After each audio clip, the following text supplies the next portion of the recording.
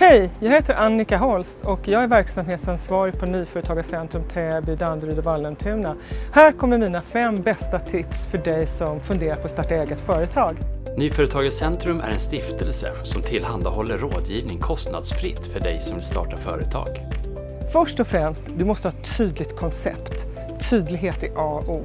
Nummer två, var väldigt tydlig med vilken målgrupp du ska vända dig till. Vem är det du ska övertyga? Vem är det du säljer till helt enkelt? Nummer tre, bransch och marknad, omvärlden. Du måste ha koll på din samtid. Fingerspitzengefühl helt enkelt. Fyra, var inte rädd för att testa. Du måste gå ut och testa din affärsidé och förstå, har jag hamnat rätt vad gäller målgrupp? Men sist men inte minst, älska det du gör. Som nyföretagare så får man ofta lägga ner väldigt mycket hårt arbete. Så då är det väldigt bra och viktigt att man älskar det jobbet.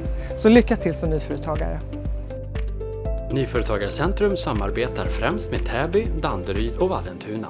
Läs mer på taby.se starta företag.